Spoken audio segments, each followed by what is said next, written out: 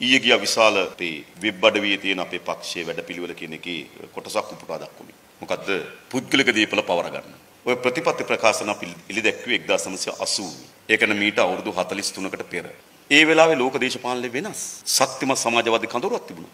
ඒ යුගයට අනුරූපී වන පරිදි වැඩපිළිවෙල. අවුරුදු 43ක් ඉක්බිතිව මොකද්ද සිදු වී තිබෙන්නේ? සමාජවාදී කඳවුර බිඳ වැටී තිබෙනවා. අලුත් වෙනත් දේශපාලන කඳවුරු නිර්මාණය වෙලා තිබෙනවා. ලෝකයේ සමාජයේ ආර්ථිකයේ සිදුවන වෙනස්කම් හිතා හොඳින් තේරුම් අරගෙන ඉතා හොඳින් උකහාගෙන ඒකට අනුරූපී වන පරිදි වෙනස්කම් කළ හැකි නම්්‍යතාව යුතු දේශපාලන ව්‍යාපාරයක් ජාතික ජනබලවේගයෙන්. අපි නම් විසි අපි 2000 දී එදාට අනුරූපී වන පරිදි වැඩපිළිවෙලක් ඉදිරිපත් කරා පස් අවුරුදු සැලැස්ම. 2015 දී අපි නැවත අලුත් තත්ත්වයකට ගැලපෙන පරිදි වැඩපිළිවෙලක් ඉදිරිපත් කරා දේශීය හෘද සාක්ෂි. නැවත අපි වැඩපිළිවෙලක් ඉදිරිපත් කරා රට පිළිබඳ අපේ දැක්ම.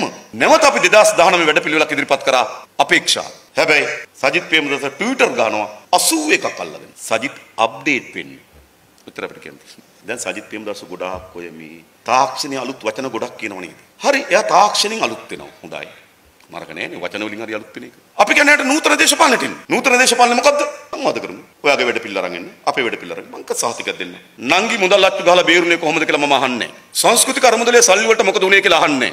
නිවාස අධිකාරියටත් පුරාවිද්‍යා දෙපාර්තමේන්තුවටත් අනුමැතියකින් තොරව දහස් ගණන් බදවා ගත්තේ කොහොමද කියලා අහන්නේ නේ.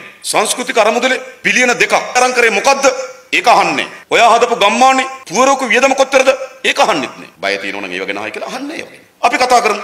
ඔයා මේ අරුමුදේ දකින්නේ කොහොමද? මේ අරුමුදේ විසඳා ගැනීම සඳහා ඔබට තියෙන මාවත මොකද්ද? ඒ මාවත සඳහා ඔබට තියෙන වැඩපිළිවෙල මොකද්ද? නිකන් තැන තැන නේද? අර නිකන් මංගල ප්‍රේමදාස වගේ මං කරින් කිව්වේ. මං පයේ ඉන්නේ හරිද? කිකිලියක් බිත්තර දාන හැටි තව ටික දවසෙ පෙන්නනවා මම.